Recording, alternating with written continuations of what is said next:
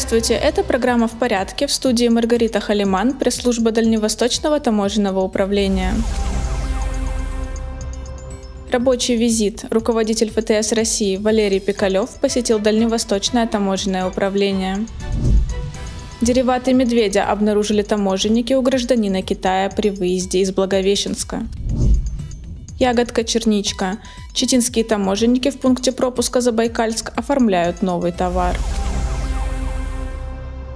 В рамках рабочей поездки руководитель ФТС России Валерий Пикалев ознакомился с работой автомобильных пунктов пропуска на российско-китайской границе в Приморье.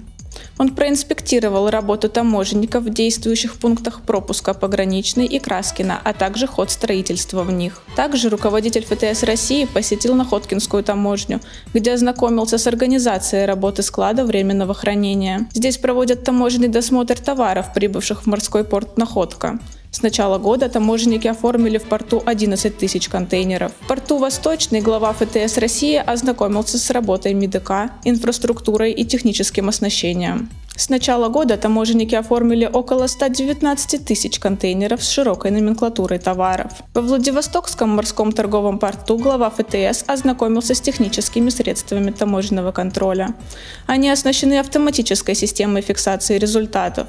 Также руководителю продемонстрировали работу информационной системы порта. Кроме того, глава ФТС посетил Дальневосточную электронную таможню и Дальневосточный ЦЕД. С начала года здесь выпустили более 45 тысяч деклараций на товары. Когти медведя обнаружили хабаровские таможенники у гражданина Китая, выезжающего автобусом в Хэйхэ. Четыре когтя 38-летний иностранец положил в карман куртки, не задекларировал их и не предоставил сотрудникам таможни разрешительных документов при вывозе. Чтобы не потерять эксклюзивную покупку, мужчина перевязал когти красной нитью, так как для жителей Поднебесной красный цвет олицетворяет удачу. При устном опросе он пояснил, что приобрел когти у друга и планировал изготавливать из них лекарства для личного употребления. О том, что их нельзя вывозить из России без разрешительных документов, мужчина не знал. Как показала экспертиза, изъятые когти – это дериваты, которые являются видами дикой флоры и фауны, попадающие под действие Конвенции СИТЕС а также являются редкими видами диких животных, находящихся под угрозой исчезновения.